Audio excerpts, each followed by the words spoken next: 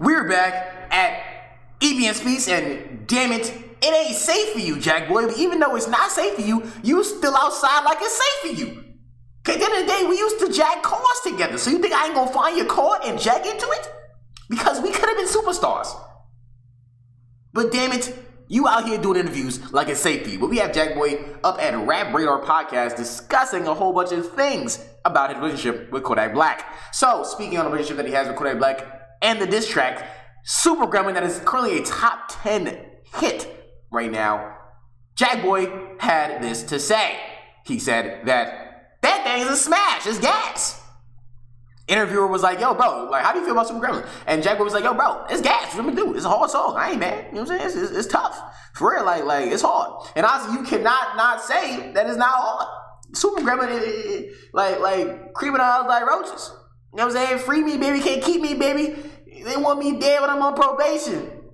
Y'all think Lil Yak retarded. Y'all ain't seen nothing yet, I promise. Who you know saying, I'm on they ass like Charmin? Cause I noticed some moments that we thought Kodak was really off his rocket. I ain't gonna lie to you. Like, I feel like he playing a character. All this, anything that, that happens on a, on a damn camera screen, I don't really believe. I'm not gonna lie to you. Like, I think somebody playing a character. I think that you're not really showing me your true self because there's a damn camera here. You think that they don't know that the cameras is here? Like, cameras are mad big. Like, let's keep it stacked. Like, like cameras are huge. Like lenses, especially like we dealing with this level of music industry, lenses are huge. So it's like people may be so comfortable they may end up saying things that they don't necessarily mean in that moment, but at the same time, they're also playing a character, bro. Who cares? Like they know that there's a life outside of the camera that they can differentiate from their actual existences. You know what I'm saying? But Jackboy is out here doing his interview, and I, I, have to give Jackboy props, bro. I gotta give you flowers. I'm a person, I'm not no hater, bro. I just gotta get up here and I talk my ish. You know what I'm saying? I make videos, but it's like Jackboy, bro. I'm gonna give you damn flowers. You was an unattractive looking dude for quite some time, and I'm very heterosexual. You know what I'm saying? So it's like, you know, but at the same time, you can you can acknowledge. I never got when people be like, "Yo, bro, you a heterosexual dude. How you gonna call another man ugly?"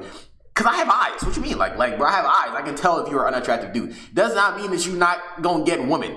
Because I've seen some unattractive dudes pull baddies.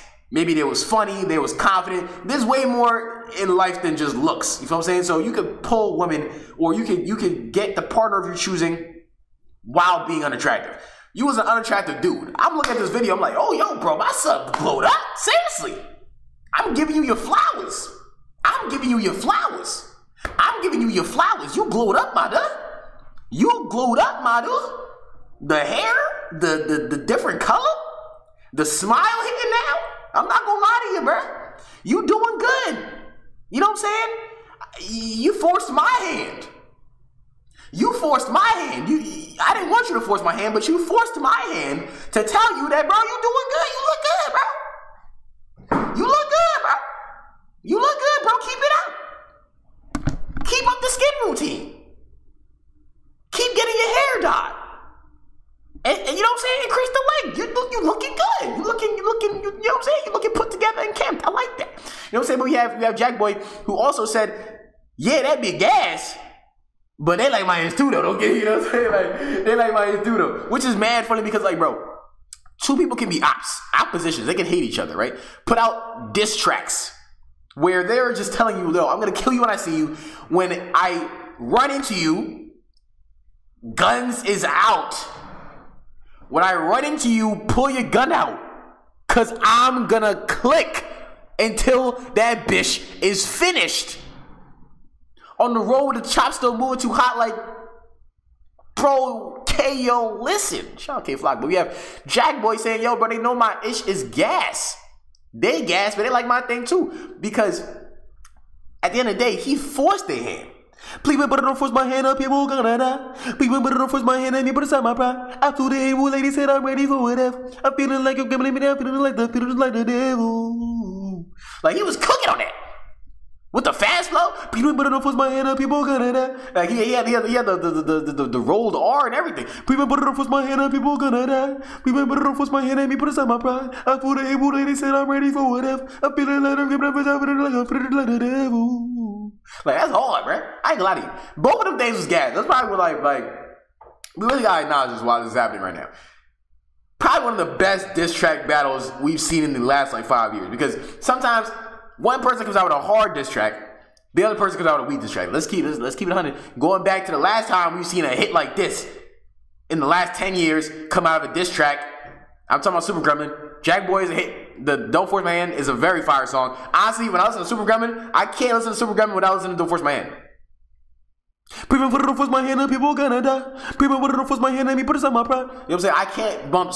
I can't bump. We could have been super, superstars without saying, "Please be put it force my hand or people gonna die." You know what I'm saying? Like I, can't do one without the other, right? But the last time this happened, when a hit came out of it, because then the day, you know, Super Gremlin is more of the hit than Don't Force, Don't Force My Hand. The last time a hit came out of this, back to back Drake, Meek Mill. You know what I'm saying? You can kind of say, I guess, maybe who I smoke with uh, Foolio and, and Yungeen Ace when I see you, but at the end of the day, those are samples. Yes, it's a sample in, in Super Gremlin, but it's more of an original song than Who I Smoke. Who I Smoke is a straight up sample from, you know, Old Girl. You know what I'm saying? And then, and then When I See You is straight up Fantasia song that Foolio made mad violent. You know what I'm saying? But those are still hit songs too. Very dope songs. They changed both of those individuals' careers, right? But we're talking about hits, bro. Hits. Drake, back to back. Got a drink and me going back to back. Yeah, I'm going back to back. Got the drink and me going back to back. I took a break from views, now I'm back to that. Six! He telling you that he took a break from views to record a diss track that turned into a smash. Guess what? Guess what Meek Mill came out with? I want to know. What an Undertaker beat. We all know it wasn't good, bro. I don't even gotta say no, no disrespect because I'm not trying to disrespect, but this song was butt cheeks, bro. Both of Meek, he dropped two of them. Drake dropped two of them too. I'm not gonna lie. I'm charged up. I ain't like charged up. Charged up was cool. It was mid. That was mid. That wasn't. If, if Drake only jar, dropped charged up, it, it would have been raps. It would have been one of the, the middest diss track battles that happened. Trust me. Like you can you can check out EBN Music Media on TikTok. I do mad diss track songs comparisons. I don't care about the, the beef itself. I like the damn music. If you guys come out with hit songs, I'ma listen.